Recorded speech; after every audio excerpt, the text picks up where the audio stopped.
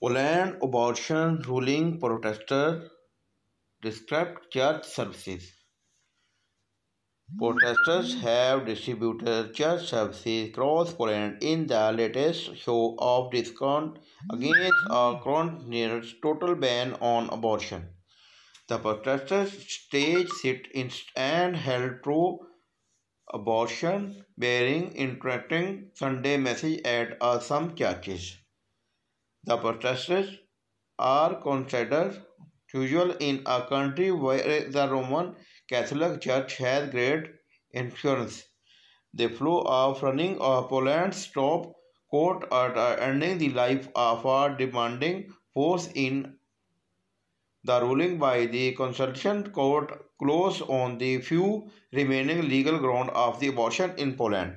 It means abortion is only valid in cases of rape or in cost or to protect the mother's life. The court's decision stemmed from a legal challenge by MPs for the ruling Nationalist Law and Justice Party last year.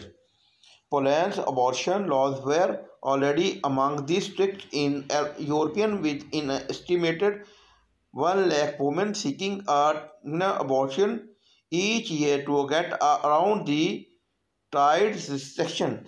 Sunday market a further considered day of a protest against the constitutional ruling which has demanding women's right activated human rights group.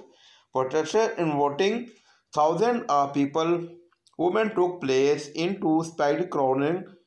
Mass was interested in the city of where is a dozen so women saying we are sick of his and held pro-abortion bearing in form of a letter.